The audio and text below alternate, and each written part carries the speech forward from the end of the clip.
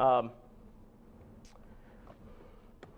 so that was one of the core agents uh, that I was putting into U3 keys to auto install a core agent to have it talk back to a central utility.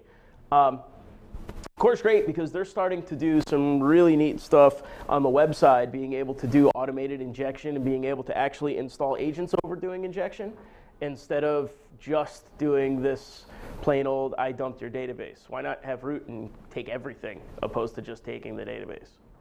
Uh, or just being able to do gets or just trying to be able to do outputs into forms why not have everything?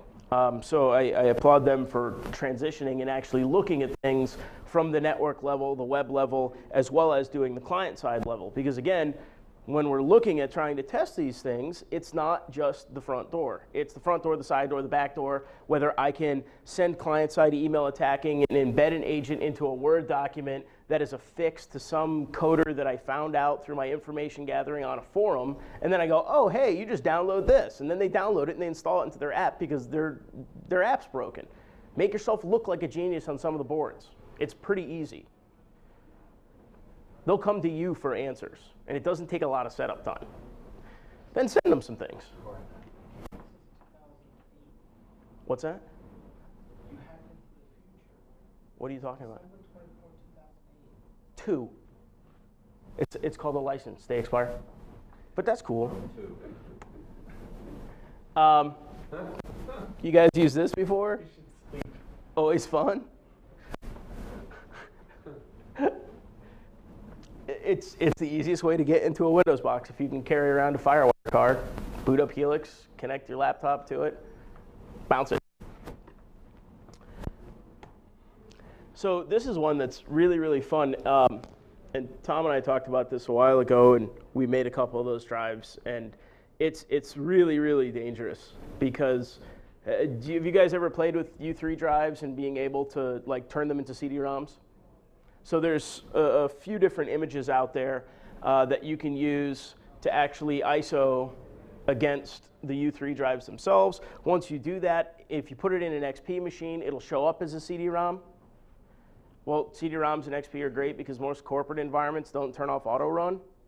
So now you can batch pulling out any information you want. You can pull out your MS cache. You can pull out all the different SAM files. You can pull out all of their internet history. You can pull out, you know, the SOFIA exe that you were talking about for the VeriSign. You can pull out all sorts of different great information. You can also put stuff in, like using Hacksaw, which will actually make, you know, some subs to the USB interface. then after that, any time that something's going to get plugged in over USB, it'll start extracting that data. It'll run a job to package the data and then send it out to your Gmail account which is really convenient because now all you need to do is just kind of run around and plug in USB keys and go home and read your email, and you get all their data.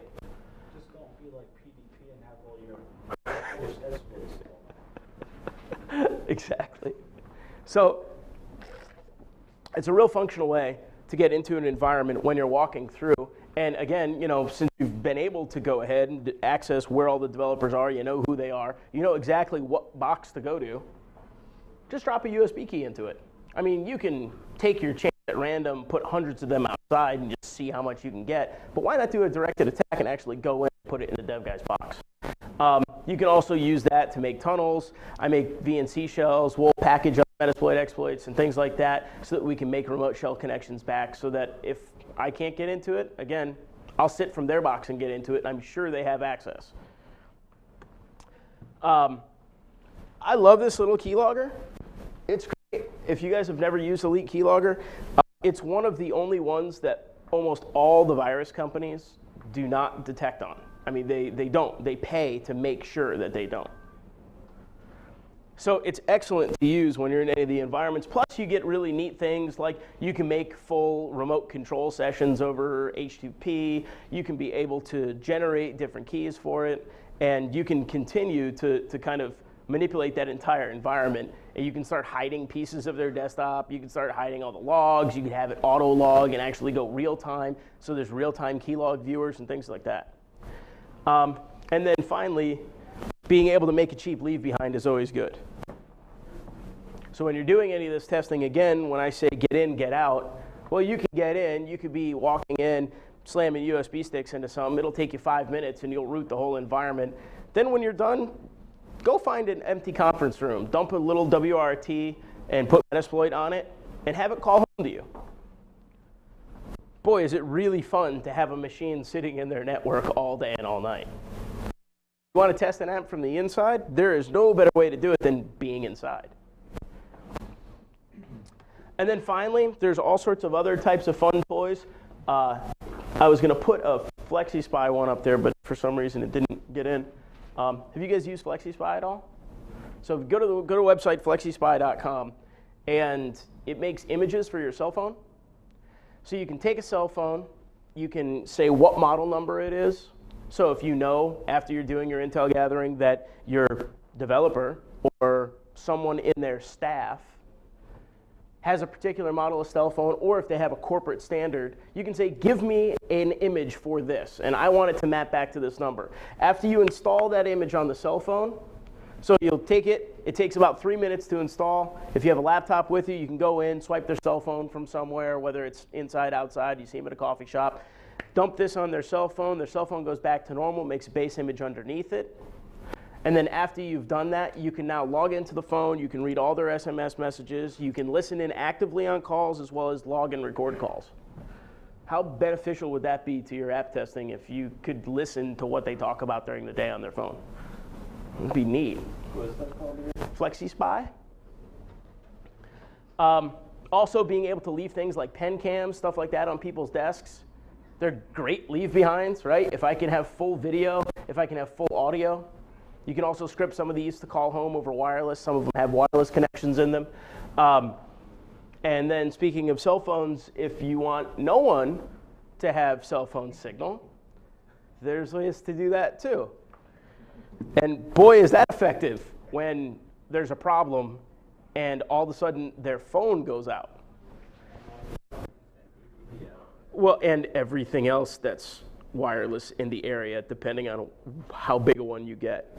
But these are all different types of ways that, you know, not only are you going to test this front door, but now you're going to attack the company, now you're going to attack this application like an attacker would because attackers don't stop ever, right? If it's their job to get in, they get in.